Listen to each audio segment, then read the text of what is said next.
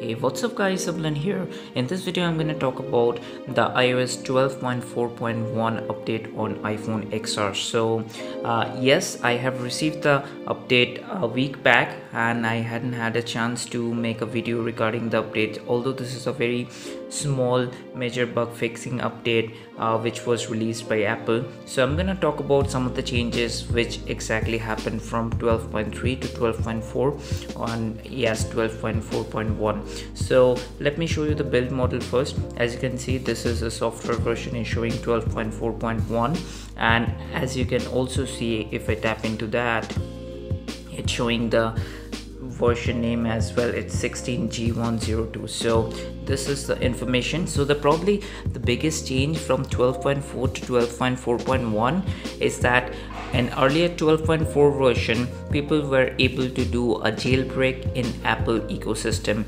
whoever is using iphone. But that has been fixed in this update 12.4.1 so that issue has been addressed by this update. So it's just a minor bug fixing update that apple has pushed out. And probably this would be the last update unless and until we see ios 13 which is expected to release in this month of september. So probably this would be the last update. So i just wanted to talk about this update. Nothing major changes. All this scrolls and this is very smooth on iphone xr i've been using this phone since like it's been four or five months. No issues at all. So i just wanted to talk about this update. It came over a week ago and in terms of size it was close to 100 or 110 MB so I downloaded and that was not much of a change I could notice so everything is similar.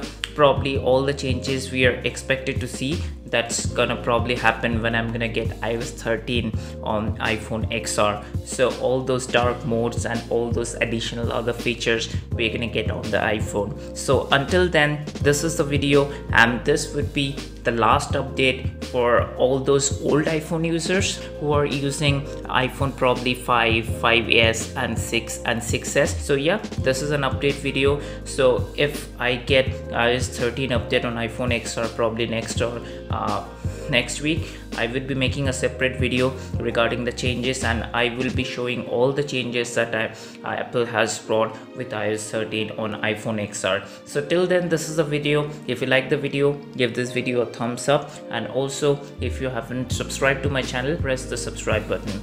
That's all. Have a good day. Bye bye.